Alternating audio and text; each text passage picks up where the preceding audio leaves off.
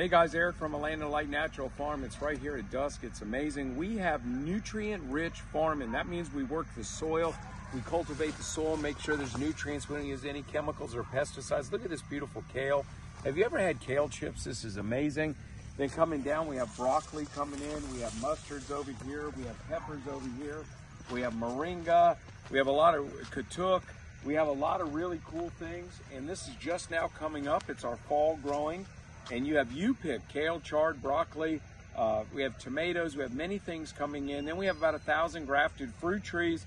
But I'm going to tell you what, it's co- pretty cool having your own food forest, being able to go out in your own backyard, even if you have a small place, and be able to grow some of your own food. We teach you how to do it. We have Saturdays free classes at 10:30, and uh, we have about a thousand grafted fruit trees. But man, come on, come on out to a land of Delight. Let us help you grow your own food forest. It's time. Come on, you can do it. We'll see you.